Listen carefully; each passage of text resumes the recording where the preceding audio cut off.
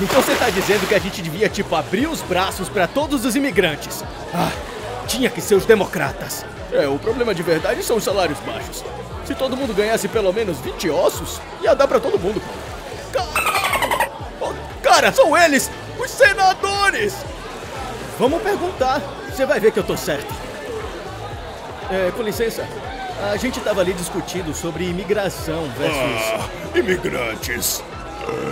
Mas foi tu ou eu que lhe disse, vamos construir um muro? Eu não consigo lembrar. Ah, quem se importa? Nós dois estamos prendendo eles em jaula mesmo. eu te amo, meu irmão. Galera, tão em público. É pra vocês se odiarem. É verdade. Vai tomar no c... Não, vai tu! Vai tomar no. Vai você, rapaz! Vai você! Caíram direitinho.